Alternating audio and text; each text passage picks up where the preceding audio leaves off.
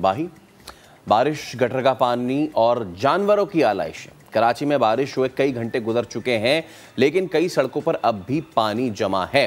लियाकताबाद की गलियों का बुरा हाल है, हर जगह कीचड़ है। ये हमने बात की लियाकताबाद की। अब आपको डिफेंस की सूरत हाल बताते हैं, वो भी खराब है। डिफेंस से रुख करते हैं नॉर्थ नाजाबाद का, जहाँ सीवरेज सिस्टम तबाह है। वहाँ से रुख करेंगे पीआईबी कॉलोनी का और पीआईबी कॉलोनी से तिनहट्टी जाने वाली सड़क तो तबाह हो चुकी है। ऐसे में करंट लगने समेत मुख्तलिफ़ हादसा में तेरह अफराद जान से गए हैं। कोई एक इलाका है जो महफूज नहीं। हाँ वो इलाका महफूज है जो मुर्तवाब अपने ट्विटर और फेसबुक पर बताते हैं कि देखें, यहाँ से मैं गुजरा और यहाँ तो पानी है ही नहीं। लेकिन अगर आप हमारे कैमरे की आँख से देखें कि कहीं ना कहीं कोई ना कोई मसला ज़रूर है। इन सब का जिम्मेदार आखिर कौन है?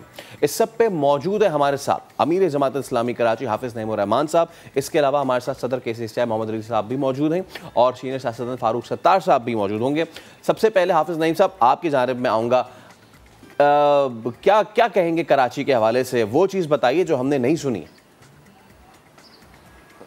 नहीं मेरे ख्याल है अब सब चीज़ें सबने सुनी हुई हैं। और सिर्फ़ दोहराने से एक फ़ायदा ये होता है कि लोगों के अंदर मज़ीद शूर पुख्ता हो और लोग अपनी राय को दुरुस्त करें। और अब पहला मरहला जो है वो 24 जुलाई है। इससे ही आगाज़ कर दें उस सफ़र का कि जो तामीर तरक्की का रुका हुआ है सत्रह साल से और ये काम शुरू हो जाए। बहरहाल इस वक्त जो सूरत हाल है वो ये है कि बरसाती नालों की सफ़ाई ना होने की वजह से करप्शन की वजह से सिर्फ़ छियासठ करोड़ से अस्सी करोड़ रुपए वो हैं। जो इस मानसून की बारिश के लिए टेंडर हुए बाकायदा, मुख्तलिफ़ लोगों को ठेके दिए गए, लेकिन काम नहीं हुआ।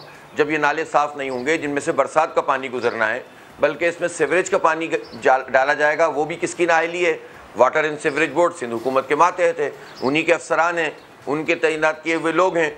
और अगर वो सीवरेज का पानी के लिए लाइनें नहीं बना रहे हैं, और वो सारा पानी वो सारा पानी अपनी जान छुड़ाने के लिए बरसाती नालों में डाल देते हैं और फिर जो सिंध सॉलिड वेस्ट मैनेजमेंट के नाम से इन्होंने ज़बरदस्त कराची को साफ़ और सुथरा करने का आलीशान निज़ाम बनाया है। उस निज़ाम के तहत उन्हीं नालों में कचरा डाला जाएगा और गार्बेज स्टेशन अपना काम नहीं करेंगे जबकि सबकी पर्चियाँ डीजल की बन रही होंगी हमारे टैक्सों के पैसे कंज्यूम हो रहे होंगे इनकी जेबों में जा रहे होंगे तो उसके नतीजे में बरसाती नाले ओवरफ्लो करेंगे और उसके नतीजे में गंदगी फैलेगी। और इस वक्त मेन शाहराहों के अलावा आप अंदर तमाम जिन इलाकों का आपने ज़िक्र किया है उनके अलावा भी बेशुमार इलाके इस वक्त ऐसे हैं जहाँ गंदगी है कीचड़ है और वो सड़कें जो झंडे लगा लगा कर एम फंड से बनाई गई, या पीपल्स पार्टी अपनी ताकत का इजहार करने के लिए कि देखो हम तो कराची भी फतह कर चुके हैं, वो लगा रहे थे, वो सारी की सारी इस बारिश के अंदर बह गई हैं।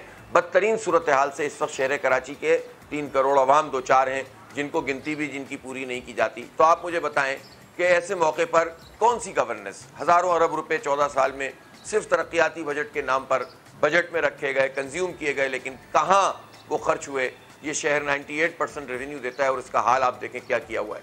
पूरे सिंध में इन्होंने कौन सा एक प्रोजेक्ट बना दिया कि जिसके नतीजे में हम कहें कि इनकी कोई जो है इन्होंने कोई काम किया है। अनफॉर्चुनेटली इनके साथ जो कॉलेशन पार्टनर हैं एम क्यू एम हमेशा हुकूमत में रही है और इस वक्त भी हुकूमत में है। और एक तरफ़ वो पीपल्स पार्टी पे तनकीद करते हैं और दूसरी तरफ़ वो जरदारी साहब के ज़रिए से विफाक में मुशीर और वज़ीर लगवाने का फरीजा भी अंजाम दिलवा रहे हैं और साथ साथ गवर्नर की लाइन में भी लगे हुए हैं। तो इनके इशूज़ गवर्नर है वज़ीर है मुशीर है और आवाम पानी में बह जाएँ लोग करंट से हलाक हो जाएँ कि इलेक्ट्रिक को कोई नहीं पूछेगा इसलिए कि सबके हिसाब किताब बंधे हुए हैं उसके साथ और हमारे साथ ये सलूक होता रहा ये है हमारा नोहा। लेकिन मसला ये है कि रोने से और मरसिया पढ़ने से और नोहा पढ़ने से मसला हल नहीं होगा। कहीं से तो आगाज़ करना होगा। जैसी भी लूली लंगली बल्दिया है, अंधे, बहरे इंतबात हैं, जाली किस्म की वोटर लिस्टें हैं। लेकिन मैं लोगों से अपील करता हूँ, कराची के अवाम से, कि वो 24 जुलाई को निकले और इन सब लोगों से जान छोड़ाए, जो भारी मैंडेट ले लेके यहाँ से गए। आप बताएँ, चौदह कौमी असम्बली की सीटें दी लोगों ने पीटीआई को, लेकिन पलट के नहीं देखा इन्होंने। अब आ जाएँगे जलसा करने के लिए बड़ी बड़ी बातें करेंगे, लेकिन साथ नहीं देंगे। तो जब कोई भी इनका नहीं है तो सही है, ठीक। बिल्कुल, हाफिज साहब, बिल्कुल आपका कमेंट आ गया